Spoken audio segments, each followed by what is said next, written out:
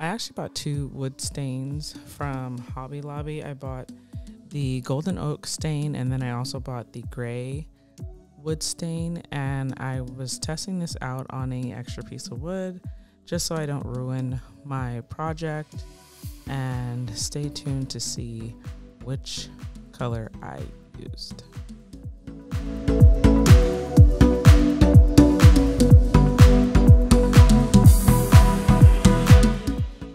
So after testing the stain and letting it dry, I actually went ahead and went with the golden oak. I've used this color before, but I was trying to go for a lighter um, lighter wood stain, but the birch stain that they had in the store was just too light.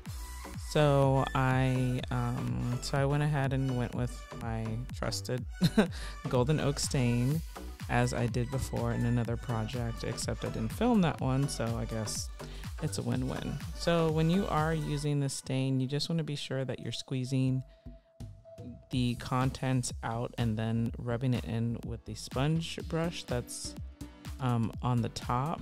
The sponge brush applicator is really good, but sometimes there is excess stain. So at times you'll see me kind of rolling the applicator around on the edge just to even out some of the excess stain that's coming out. If you do have a separate sponge brush, you can use that.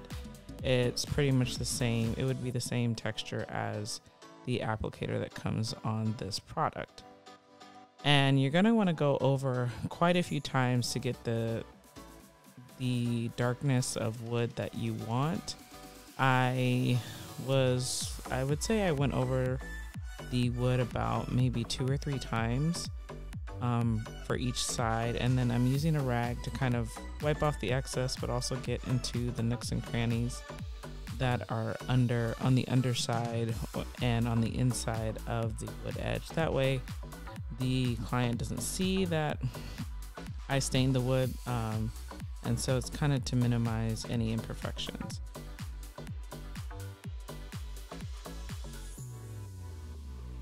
So I don't have a saw. So I ended up using my uh, pipe cutter to basically make four indentations, one on each side of my square wood dowels.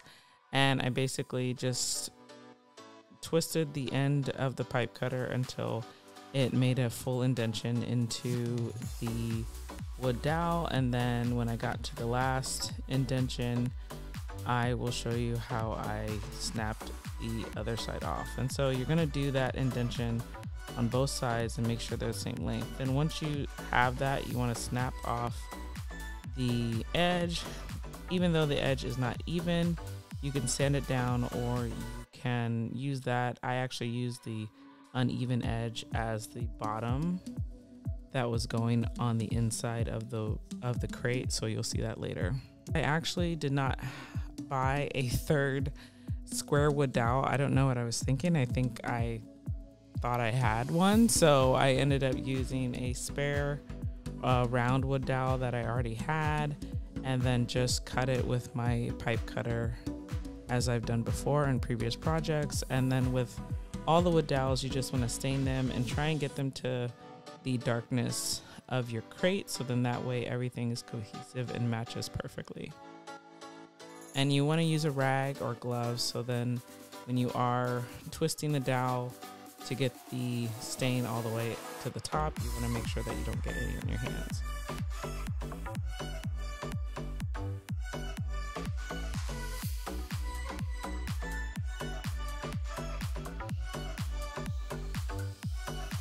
Next, I'm using this Titebond 3 wood glue that I got from Home Depot.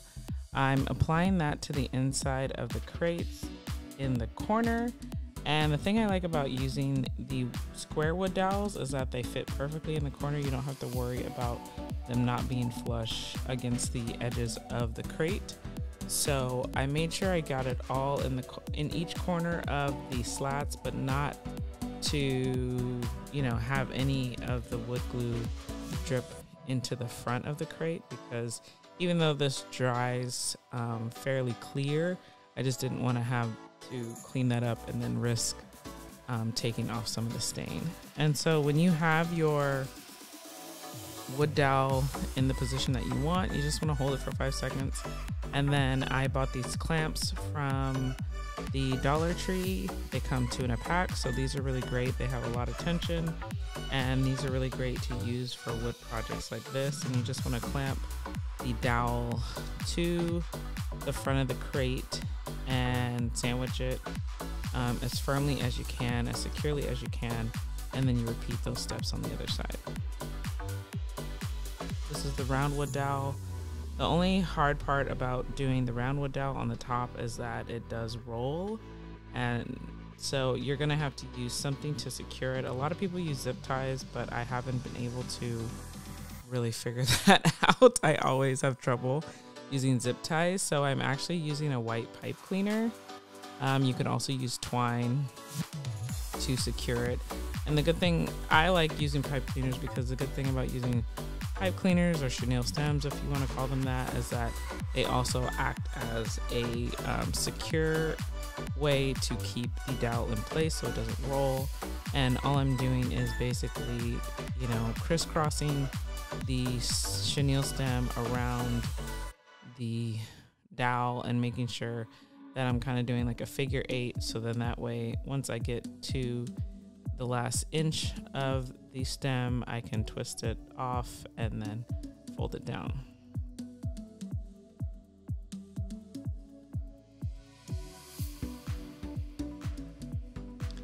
Next, you're gonna wanna get your garland. I actually was having trouble with this garland as well.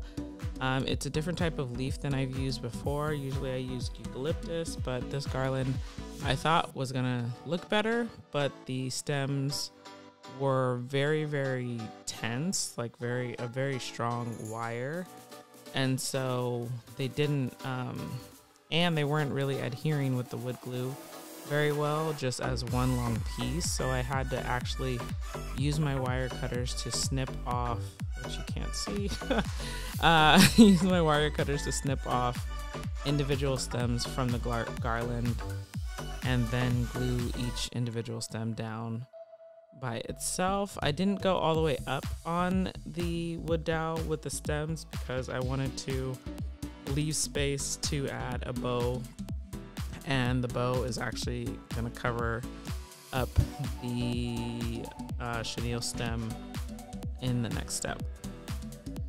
So I got this bow. I'm like in love with buffalo plaid. So I just figured this was kind of a fall, almost fall baby.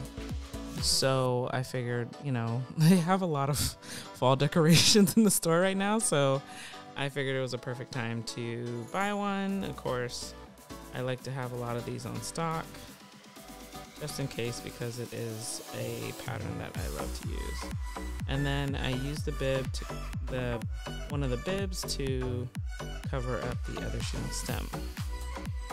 Now, the other thing you can do is add either the baby's name or a baby sign or a welcome sign to the front of the crate. I have a stash of um, babies, wood baby signs, so I'm just gluing that on the ends to the crate so then um, it gives it a little pop of color and it kind of makes the crate stand out. Then I placed a box in the inside, but you can also, if you're gonna give diapers, you can also place diapers in the inside of the crate to give it a little more elevated um, to elevate the items that you're going to put inside and then to cover up the box and or diapers if you're using that you want to make sure you have purchased a thin um, receiving blanket and I'm just using that to cover up the box but then also kind of stuff it in and add a little more dimension to the bottom of the box. And of course, it wouldn't be a Koko DIY project without something falling apart. So uh, here I had to reapply my um, my stem, and I will not be using these leaves again. and now it's time for the fun part. So I'm just gonna let you guys kind of see the transformation here.